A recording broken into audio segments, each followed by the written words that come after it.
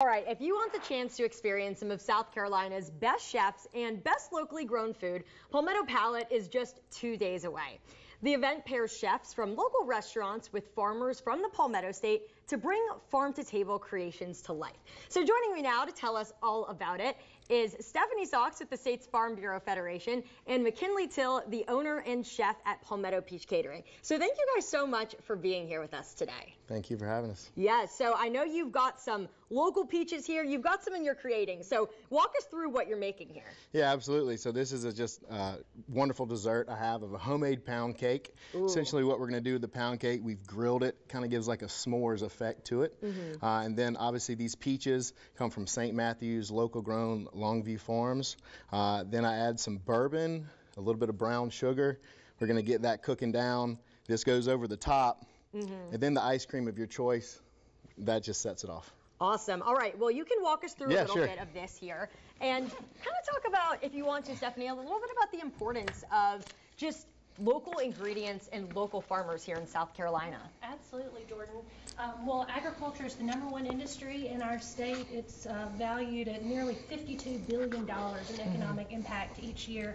And um, in order to continue to thrive in that way, we have to have these local farmers and events like this help us show support for those local farmers. And South Carolina is really unique in that we grow so many great fruits and vegetables. Mm-hmm. And so we're really in the perfect place for these great desserts like McKinley's making for us yes, today. absolutely. I mean, it looks so delicious. My mouth is already watering seeing what you're putting together here. Talk really about good. how some of the funds raised really benefit the farmlands here in South Carolina. Yeah, absolutely. So for our second year now, we are actually uh, raising funds to support our South Carolina Farm Bureau Land Trust.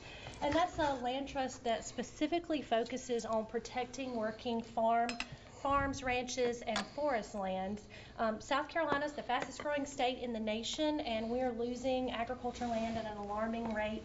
And about uh, just a little over a year ago, we officially started the South Carolina Farm Bureau Land Trust as a way to help protect some of those most precious agriculture lands. Mm-hmm. So, so far we've protected about 3,000 acres in our first year um, as an operating land trust, and we are looking forward to continuing to grow um, grow our land trust and protect even more farms across the state. That's amazing. Now, I mean, this looks so beautiful. We've got to zoom in here on what we've got going on. This pound cake, we've got local peaches, a nice scoop of ice cream. This is just really looking delectable. And I know that you have more local creations in store, actually at Palmetto Palate. So what else do you have in store, McKinley? Absolutely. So this year at the Palate, um, we're going to be generating as much local produce as possible. Mm-hmm. Um, we're getting our bread from the Sassy Wildflower. It's going to be located in Sandy Run. Mm-hmm. Uh, she has got me some beautiful sourdough that I'm going to grill. Ooh. I'm going to be pairing that with some Cotton Hill Farm heirloom tomatoes, wow. which is one of the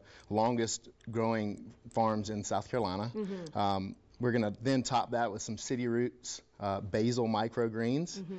and then finish it with some olive oil and balsamic vinegar. It's just going to be a wonderful little bite. Absolutely. And I know that there's a, a, competition really that goes on here, and you won two years ago. So tell us what it was like to be the top chef that won. Well, you know, it's, it's just makes you want to go back and do better and just mm-hmm. try and source as much as possible.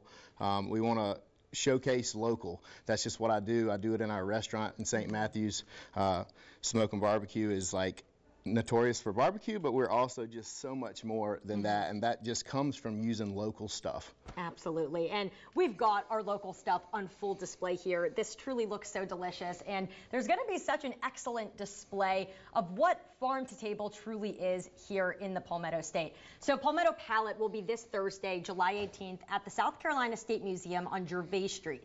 It starts at 6 p.m., and 100% of the money raised will benefit the South Carolina Farm Bureau Land Trust. You can get those tickets online, and we have all of the information on our website, WISTV.com. Well, thank you so much, Stephanie and McKinley, for coming on the show today and tell us all about Palmetto Palate. Well, yeah, Go ahead. We're going to have uh, 12 different chefs from around South Carolina using the freshest local produce to serve up tasty, delicious di- dishes for everyone to sample. Mm-hmm. We're going to have a band. Um, it's just going to be a great night of food, fun, and fellowship. So we hope that you'll all join us for Palmetto Palate. Awesome. It certainly sounds like it. Well, thank you again for being here, and we'll have all that information up on our website. Stick with us. We have more midday coming up after the break.